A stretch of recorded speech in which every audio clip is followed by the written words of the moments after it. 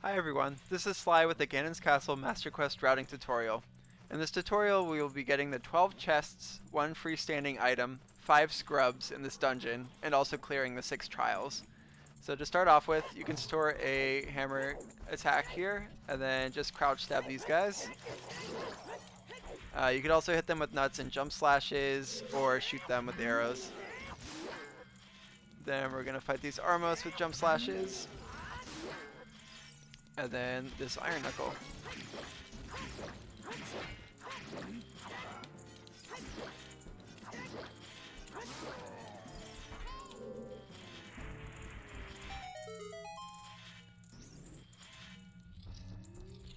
Now if you're playing with Scrub Sanity, you're going to want to come down here and grab the five Scrubs in this dungeon, which is one more than it is in the vanilla game.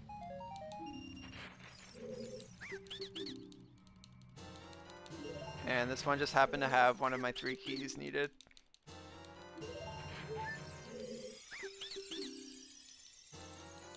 And there's the second key.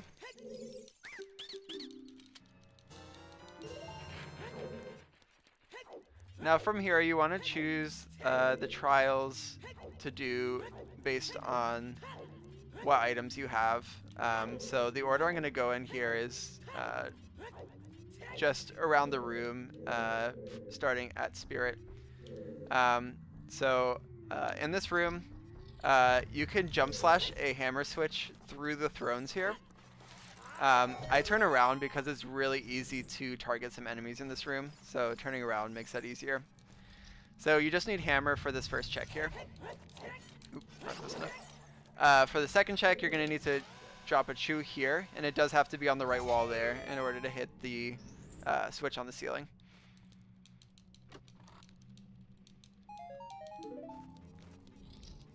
So immediately, uh, you want to start crouch stabbing here, so you can hit that guy, and then get this chest.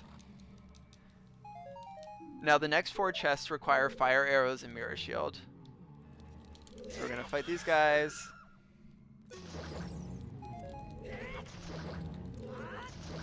And we need to use fire arrows to uh, open this up, unlike the vanilla game where you could actually just use uh, arrows and use a torch in the other room. So now there are chests on the four corners uh, here, so I'm going to go ahead and open those up. This is where Strength 3 is in the uh, in the vanilla Master Quest game. Then I'll just open up these four chests. Then in order to clear this trial, the only other item you're going to need is light arrows.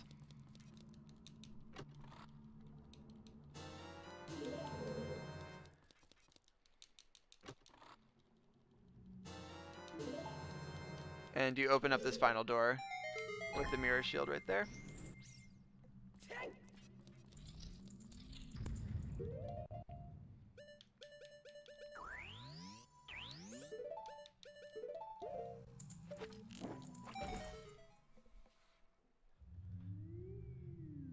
So all in all, there were six chests in Spirit Trial. Next, we're going to do Forest Trial, which has two chests and a freestanding item. In order to get that freestanding item, all you need is Hookshot. So we'll take out these Stalfos in order to advance to the next room. And then hookshot up to this torch. It's worth noting that you don't actually need to fight those Stalfos in order to get this. Um, but it'll be convenient. Uh, we have to wait for the fan to finish spinning anyway, so if you're quick enough, you don't need to wait the second time, but it kind of all depends on the fight. And there's the freestanding item. So for the next two chests, uh, you need bow and a fire source. Um, I'll just equip fire arrows and get both of them. So the second chest requires a uh, you to shoot an arrow into this target, and the third chest requires you to use a fire source to uh, hit this eye switch. Um, so either fire arrows or you could cross to the other side of the room and use Din's to get it. So you can hover over to this other chest, uh, or you can wait for the fan to start blowing and jump across, which is pretty fun to do. You can stun Beamos with uh, nuts, which makes this convenient.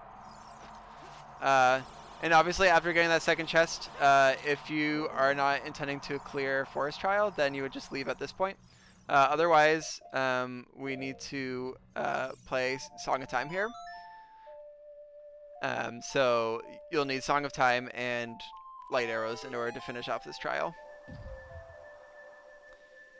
And because this is Master Quest, you have to play it twice. Super convenient.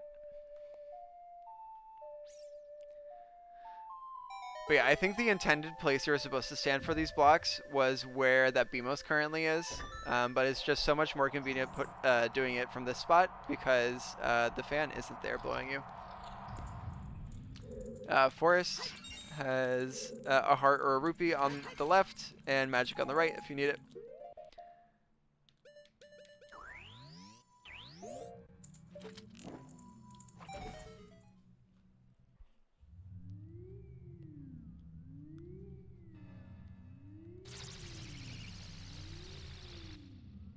So the next trial we're going to do is water trial. Um, you do not need a key to get the first chest, but you do need a key to clear it. Um, there's a trick you could do here with hovers in order to grab the blue fire. Uh, coming out of this first blue fire, uh, you're going to want to catch a second one if you have a second bottle. So you want to hold down and mash your other bottle. Um, and then here, uh, you could use a blue fire on that, or you can just roll right through the red ice and uh, get this first chest.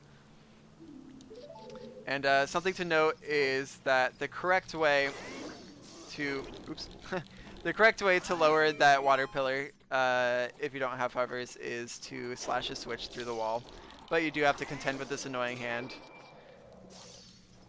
So moving on, uh, we're going to use our first blue fire bottle here and uh, use our key to clear this trial.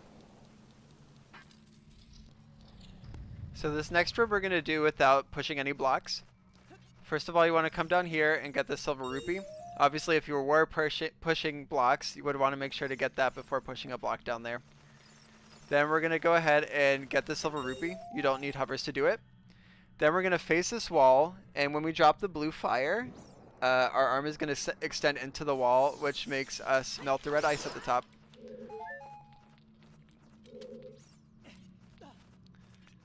Uh, this next rupee is easiest to grab with hovers. Getting hit by invisible keys is always fun. And now we're going to do a trick to avoid the block pushing puzzle. You stand approximately here and face approximately this direction. Then we're going to roll close to the edge and hold up left in order to grab it.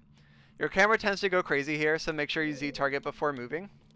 And then we're going to jump slash this red ice in order to get the silver rupee, which saves you having to go back to get an extra blue fire.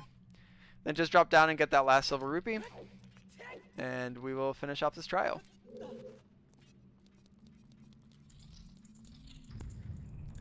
Uh, so there are arrows here on the right, uh, and hearts on, or rupees on the left if you need them.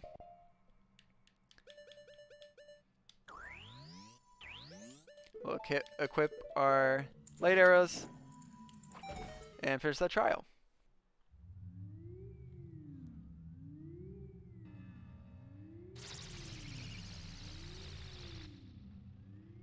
So coming up next is the most complicated trial, which is Shadow Trial. You're going to want to have bow and uh, lens in order to do this trial, um, but it is possible to clear it without those items.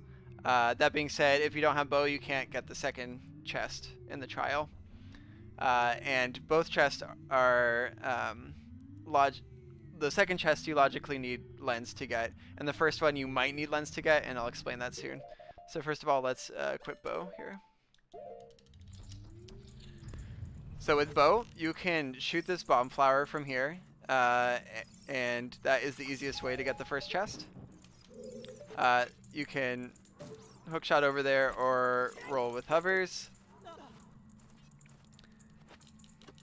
However, it is also possible to blow up that bomb flower um, by heading over there via invisible platform uh, and picking up with strength, using explosives to blow it up, or um, using Din's.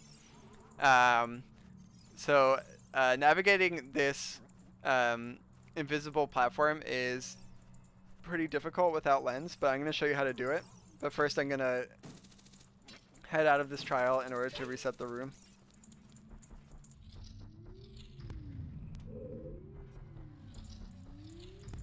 So immediately entering the room, we want to roll twice and then jump slash and then roll onto the platform. Um, it's really hard to keep track of this platform, so resetting the room is the easiest way to nail it every time. Uh, the trick with the jump slash is fairly difficult. It's easy to miss a bunch of times, so that'll take practice. Um, here, we roll to this one. Um, if you're on an early cycle, uh, you can use the Beamos as a point of reference here to roll back. You want to wait for it to be facing right, and then roll. Almost missed it too. Uh, and then from here, we just want to get close enough to get onto this platform and get the silver rupee in here. Now using a fire source uh, to light this torch will cause a platform to appear here, uh, which you can use if you don't have um, if you don't have hovers. Uh, and if you don't have a fire source, you could actually still light this torch by um, shooting an arrow through the torch at the entrance and hitting this. But since we have hovers, we'll just uh, head to the next platform. I'm going to stun those guys real quick. And miss. Awesome. So yeah, this trial really sucks. Let me just reset the room and uh, do this again.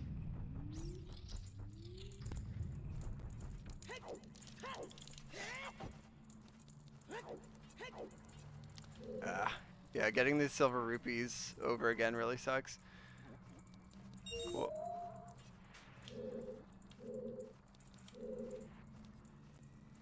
It is possible to get to this platform without the hovers as well. Um, obviously, it'll be a bit more difficult. Um, so we're going to wait for this Beamos to face right again. Land on the platform. Grab the silver rupee. Ah, let's get a good running start this time. Alright, two rolls and we make it over here. Then, as I said, the second chest is hard arrow bow locked. Um, so we'll get that. And then stun the Beamos again. Then we're going to roll to this platform. Uh, it's possible to get there via invisible walkway. Um, and I will show a video of me doing that. Or I'll link one the, in the description. Um, I'm just waiting for the Beamos on the platform to not be facing me so I don't get hit immediately. Okay. And then we want to stun this guy um, by waiting for him to face this direction, then hitting the wall there. Then we want to roll to the silver rupee. And take off your boots immediately when you hit it so that your momentum doesn't take you off the platform. Uh, and then the invisible platform heads up this direction um, with hovers on. Uh, it's fairly easy. Um, without hovers, you might fall off. Um, so definitely this trial takes some practice. It is super difficult. Uh, and there is always a big magic meter there on the on the left, which is nice. And we'll just use light arrows to finish off this trial.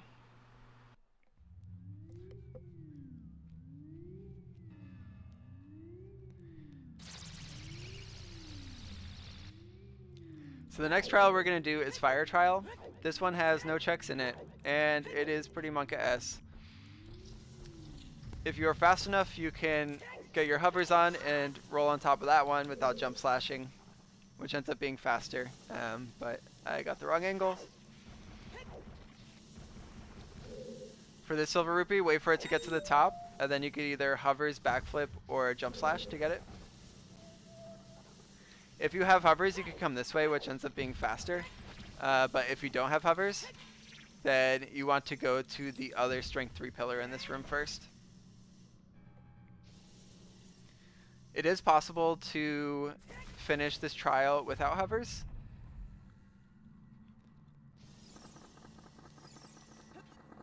Um, but that logically requires long shot. Uh, it is possible to do this without long shot with just hook shot, but that's not logically, that's not in the logic. Gonna get this silver rupee and then go and get the last one. I'm gonna wait here a little bit just to make sure that the other platform will be there so I don't fall. And pick up this strength 3 pillar.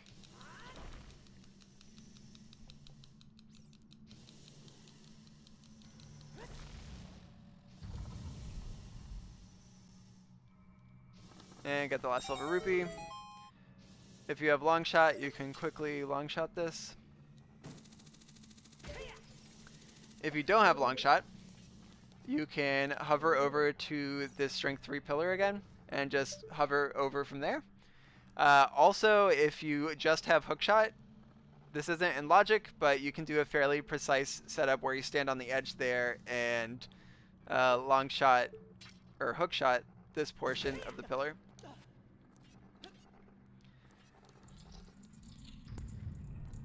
Uh, and there is magic again in the left pot. And that's fire trial down.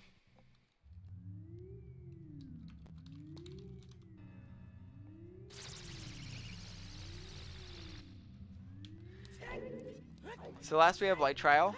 Obviously you'll need strength 3 in order to get in there. And unfortunately, unlike the vanilla game, this trial only has one check in it, which only requires the ZL to get.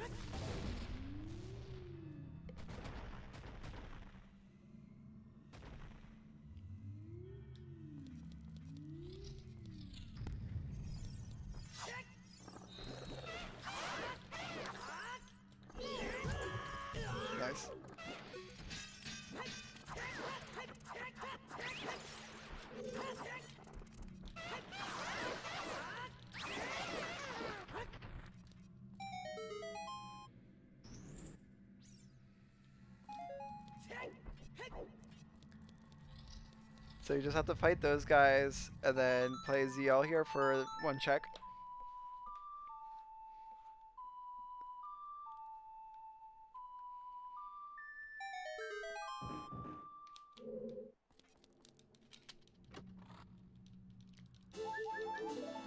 Now in this next room, you'll need hookshot in order to uh, hookshot here and then you can roll towards the door. Hopefully that guy doesn't see you. Um, however, uh, if you don't have hookshot, um, it's there's a firewall down here uh, that you have to get around, and it is possible to side hop past it, so I'll show that. And then from here, you just slash this here in order to hit a crystal switch, and then use light arrows to finish up the trial.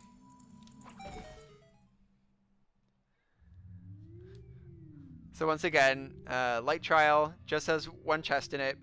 Uh, in order to clear, you need two keys. Uh, either hookshot or a well-placed side hop, and lights.